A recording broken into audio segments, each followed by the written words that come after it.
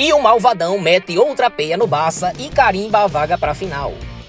É, quem achava que o Flamengo ia embora da Liberta se lascou. Eu quero é ver o moído. Primeiro jogo foi um 2 a 0 mais fácil que dar um like no vídeo do Dublo imitando. Arrocha o dedo aí, negada. E começa a fuleiragem. E o Barça veio pra cima.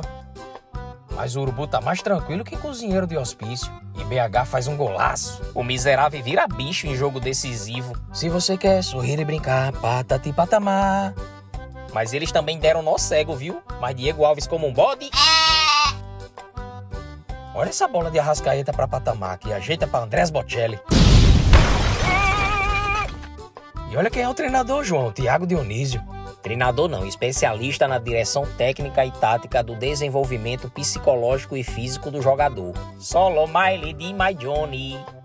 Agora parecia que o Barcelona não queria fazer gol, Chico. Olha esse gol perdido. Ai, fiteto do cão. Quando não chutam para fora, Diego Alves faz milagre. Thiago vai ficar doido. E termina o primeiro tempo. Eu só não gosto quando esses caras me chamam de patati patamar.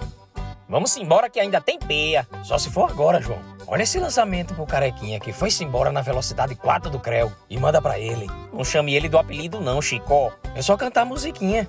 Se você quer sorrir e brincar. 2 a 0 Urubu. E o Barça agora tem que fazer 18 gols. Ei, Laia! Até que deram uma acordada e assustaram Diego Alves. Assustaram só se foi de feiura, João, que ele pulou só pra sair nas fotos.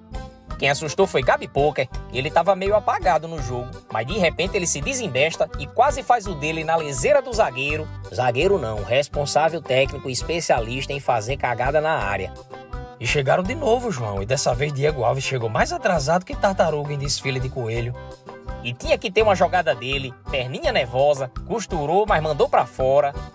E fim de papo, Urubu na final da Liberta. Esse aí tava agradecendo por ter levado só dois. Fala, Renato. Normalmente o português recebe o freguês na sua padaria, mas nessa final o freguês é o português. Isto é o que nós vamos ver.